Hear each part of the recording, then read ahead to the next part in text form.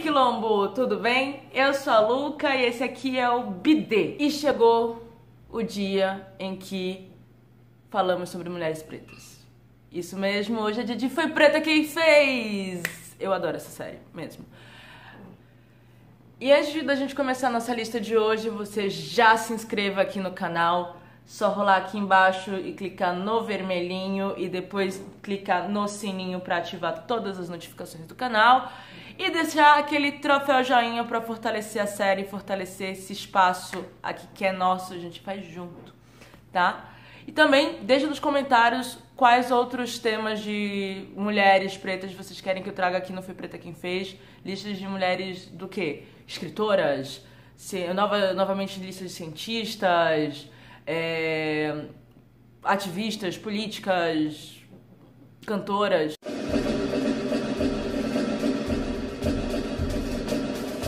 Falar de música, mas nós não vamos falar de mulheres negras cantoras, porque hoje nós vamos falar daquelas mulheres que compõem as músicas. Nós vamos falar de mulheres negras compositoras.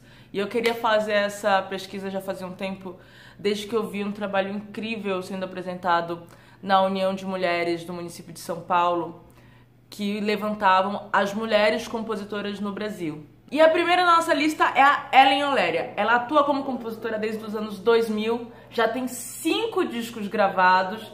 É uma preta lésbica periférica de Brasília maravilhosa, entendeu?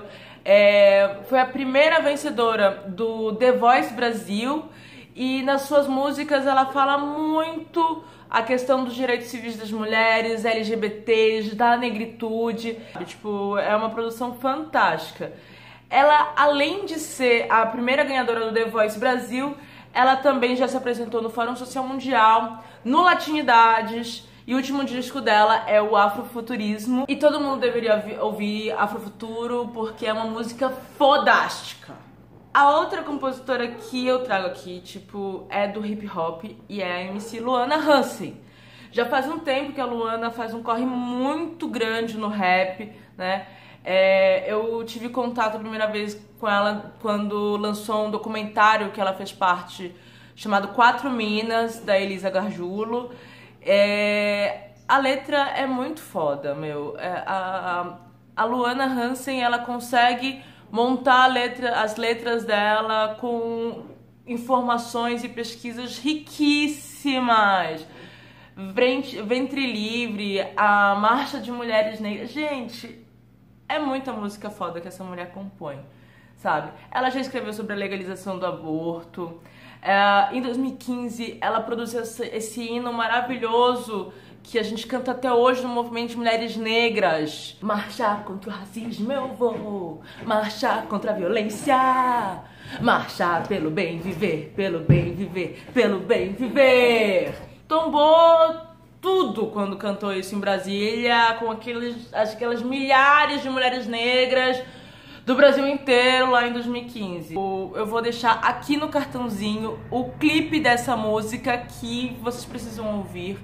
Também vou deixar o Ventre Livre aqui e vocês precisam conhecer as músicas da Luana Hansen. Aí vamos falar da Chiquinha Gonzaga, né? A primeira mulher que compôs a letra de uma marchinha de carnaval no Brasil.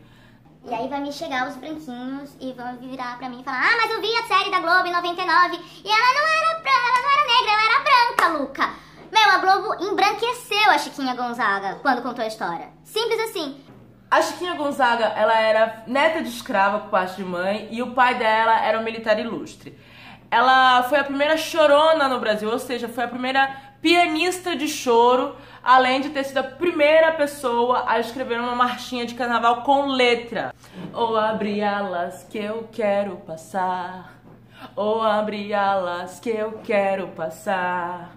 Rosas de ouro é quem vai ganhar. Rosas de ouro é quem vai ganhar.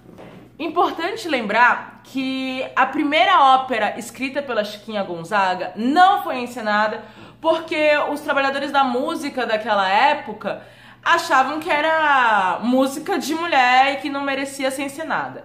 Só que as outras 75 operetas que ela escreveu foram ensinadas e foram um sucesso na época. Além de trampar num treco que era só de homem, aonde ela tinha que encarar o machismo gigantescamente, ela também virou encarou um divórcio.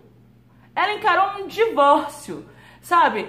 É, foi deserdada pela família, teve um monte de condenações morais naquela época, porque trabalhava com música, porque tava, foi viver com um cara que ela escolheu e não o marido que o pai dela tinha escolhido.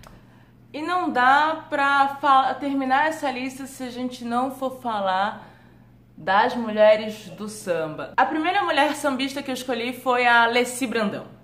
A Alessi Brandão é, é, é foda, meu. Eu lembro quando eu era uma baixinha da Xuxa e a Alessi ia cantar no show da Xuxa, sabe? Tipo, eu ficava, nossa, que mulher foda. E eu tive a oportunidade de conhecê-la em 2015 por conta da Marcha das Mulheres Negras e afim. É, a Alessi foi a primeira mulher a participar da ala de compositores da Mangueira. Ela tem 23 discos lançados. O primeiro foi em 75 e já chegou chegando com vários prêmios da crítica, sabe? E assim, todas as composições delas, em todos os discos delas, tem as questões é, sociais envolvidas do país. Isso é uma das coisas que se avalia de que ela ficou durante cinco anos sendo boicotada pelas gravadoras, porque ela falava muito sobre o que estava rolando no Brasil nas suas composições. E não dá para falar de compositoras e sambistas no Brasil se a gente não fala da diva mor desse país. Salve Dona Ivone Lara, a rainha do samba.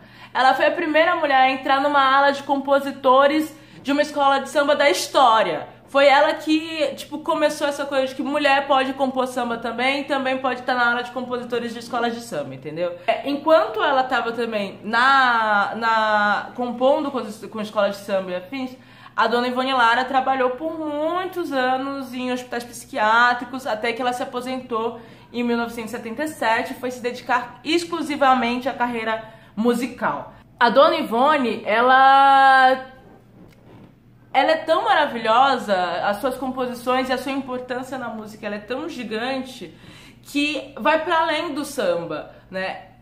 Os compositores e cantores de, por exemplo, música popular brasileira tratam a Dona Ivone Lara como se fosse uma grande autoridade da música brasileira, que ela é, entendeu? É, é um respeito gigantesco e é isso, gente. Esse foi o foi Preta quem fez dessa semana com compositoras negras. A gente produz música pra caramba, tem um monte de mulher preta aí que eu fui acabei levantando também. E eu provavelmente vou fazer outros vídeos falando sobre compositoras negras, negras na música, porque falei só uma partezinha que tem no Brasil. Fora do Brasil tem milhares também que são fodásticas e que a gente precisa falar sobre elas. É, já conhecias alguma das mulheres que eu falei aqui? Comenta aqui embaixo, fala de outras compositoras negras que tu conheces também. É, na descrição do vídeo estão os links de toda a pesquisa que eu fiz para vocês terem informação mais aprofundada sobre essas mulheres maravilhosas.